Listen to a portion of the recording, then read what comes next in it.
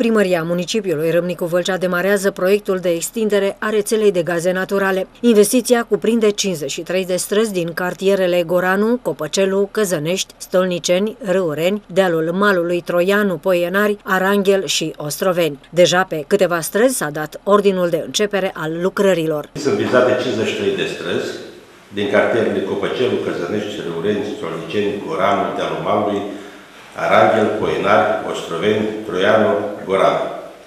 Executantul lucrării desemnat în urma licitației publică a fost, asociația, a fost uh, o asociație de firme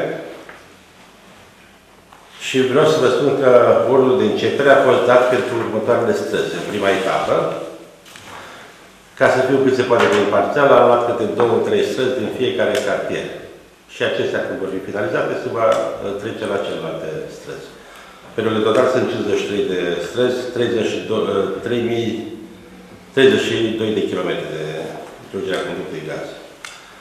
În strada în cartelul Troianu, strada Lotrului și strada Posada, în Copăcelul Colțeștilor, drumul Gării, Ghioceilor și strada Toporașilor.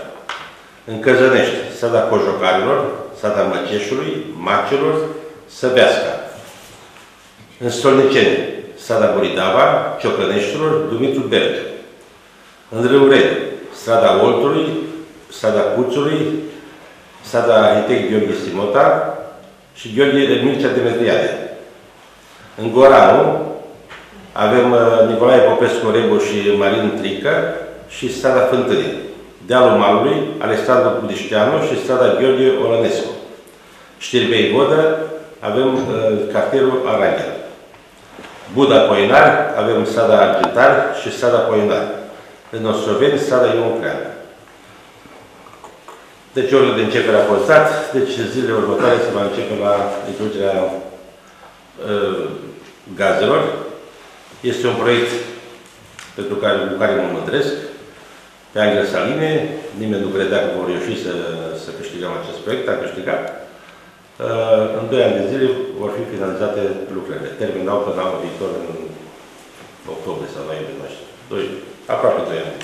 Proiectul de extindere a rețelei de gaze naturale în municipiul Râmnicu Vâlcea are o valoare de peste 27,9 milioane lei.